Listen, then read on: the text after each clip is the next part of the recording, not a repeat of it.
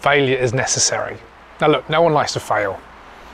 Everything we do in life, we're trying to do the best job of, you know, that, succeed, make it work. No one actually likes to fail.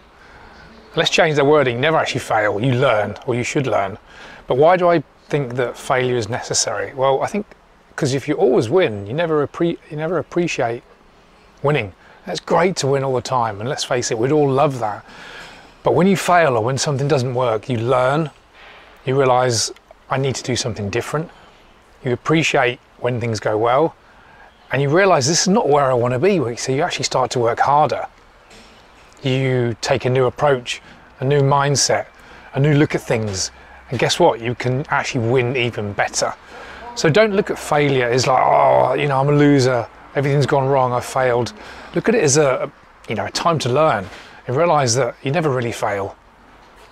It's a learning experience. You've actually worked out a way not to do it, so you can come back, new perspective, new mindset, new ideas, new actions, and realize I can make this better, and I'm going to win this time. So forget failure, the notion of failure. You never really fail.